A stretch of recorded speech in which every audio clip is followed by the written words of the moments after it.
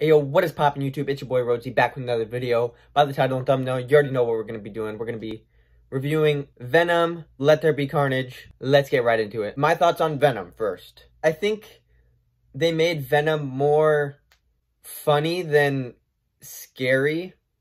I kind of have mixed emotions about Venom. I think they made him more like family friendly to be honest. I don't I don't know how to explain it.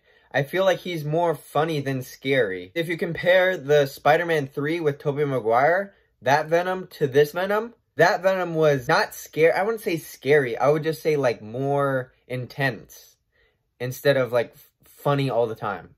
But that's just my opinion. That's just how I feel. Next is the characters, the casting for the characters. I think Tom Hardy is a great Venom. I think he plays him really well.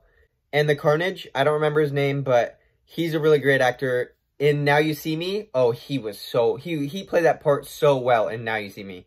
So well. If you haven't seen that movie, go watch it. That movie's fire. It's like about like magic and stuff. It's sick. Now let's talk about the fight scenes. Well, the fight scene. There was one. Literally one. The entire movie. One. And it was like 10 minutes long. The fight scene was really fire. It was really good, to be honest. I wish it was longer and I wish there were more of them.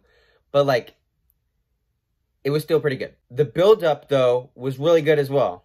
I feel like the movie was just a whole build-up for the last 10 minutes. Okay, now Carnage does this, this, this. All right, we're to fight now. I'm to beat you in five minutes. It wasn't boring. In no way, shape, or form was it boring. But it just felt like a build-up the entire movie. There was no, like, fight scene in the middle. But don't get me wrong, the fight scene was absolutely fire.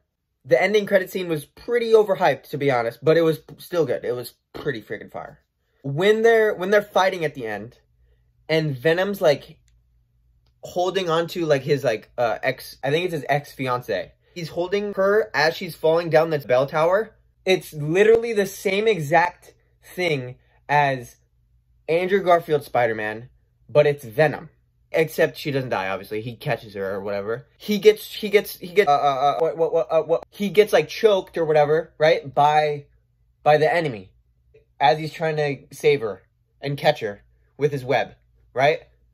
And then it pans to his eyeball and it shows her like, please save me, in his eyeball. Just like Andrew Garfield, Amazing Spider-Man 2, when Gwen Stacy is falling down the bell tower. Did anybody else catch that? Because when it happened, I was like, whoa! My boy Carnage is fire. He looks fire. I feel like Venom should have had the amount of hate that Carnage had. Maybe a little less because Carnage, obviously, he's a freak. Overall, it was a good movie. Go watch it if you haven't watched it. It was it's fire. It's a fire movie. I'm probably gonna give it. I'll I'll give it a seven point nine. It'll be up there with Shang Chi. I don't think it was better than Shang Chi. I think it was better than Black Widow, but not better than Shang Chi. It's right smack dab in the middle. Leave a comment on what you want to see in the new Spider-Man. I just physically cannot wait to see Green Goblin and Doc Ock. That's I'm gonna freak out. I'm gonna freak out. But thank you guys so much for watching. If you did like this video, hit that like button. If you did not, hit that like button because I do not care, dude. Also, kiss the subscribe button. Kiss it. I'll see you guys in the next video. Peace. Also, leave a rating down below. Peace.